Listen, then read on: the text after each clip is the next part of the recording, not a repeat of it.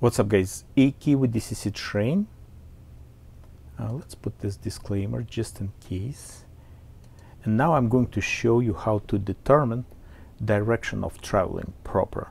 In HO sometimes um, I'm guessing and I'm soldering everything, right? Make sure you have programming track and everything's And sometimes maybe in 80% I'm getting it right. So, but if it's not, I can switch it not big deal.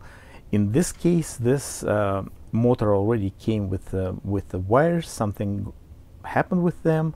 I need new motor, so I'm not messing around here.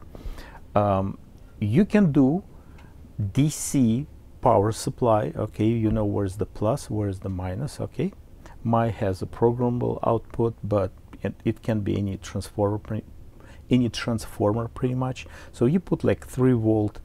Uh, and oh it's going backward all right even I'm applying plus here and minus here okay that's cool but if I put um, if I solder my um, output from the decoder like plus is orange it will be wrong direction so I need to switch the lights then in CV29 I need to switch direction so it's kind of correcting mistake it, it's okay. Better not doing that mistake. So I have just LokPilot or any decoder, all right?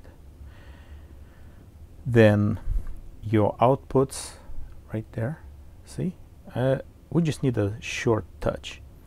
Now I know it's it's running like backwards, so my positive orange will be on this side.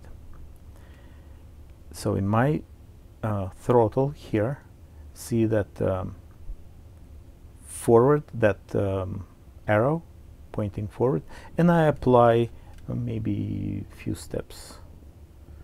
Uh, like 23 21 that's fine and it should run forward right now. Just very quick touch. I'm not crossing those wires. Just be careful. But I can reset the decoder it's not big deal. And aha bingo. So my theory was correct when I tested with um, let's just turn it off. Uh, when I tested with um, DC power supply. And now I'm not going to make mistake I proper solder all my wires. All right? That will be all for today. Thanks for watching. Thank you for supporting business. If you'd like to support channel there is link in the description. And have a good one. Bye bye